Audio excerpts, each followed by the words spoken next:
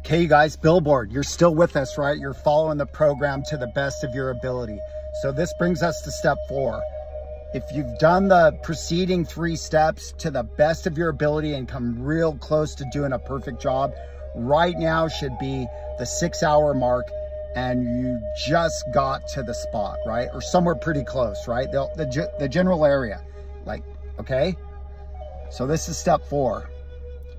You need to make a searching and fearless moral inventory of all your reasons and rationale as to why the hell you even want to find a rosy boa.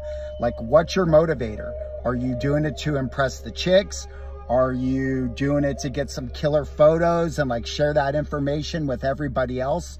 Um, you really need to ask yourself, why do I want to find a rosy boa? This is super important. You got to have the Native American music playing.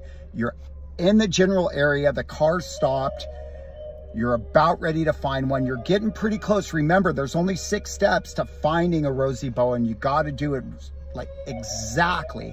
So you're at the six hour mark, you're at the spot. Why do you even want to find a rosy boa? Are you going to bag it? Are you going to try to steal its magic? You just say, no, I don't collect. I just want to take pictures. You really need to get this stuff figured out. Make a searching and fearless moral inventory of why the hell you want to find a rosy boa anyway. You're going to share this information with other people. You're going to tell your mom about it. You're going to tell your girlfriend about it. You're going to share it with homeless herper and mama's little herper helper and teenage teeny bopper herper 13. Look at the rationale and the reasons why you want to find a rosy boa. Don't get out of the truck yet.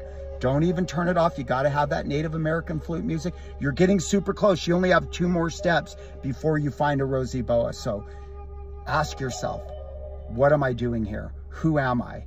What's my motivation? What's my motivation? Step four, do it now.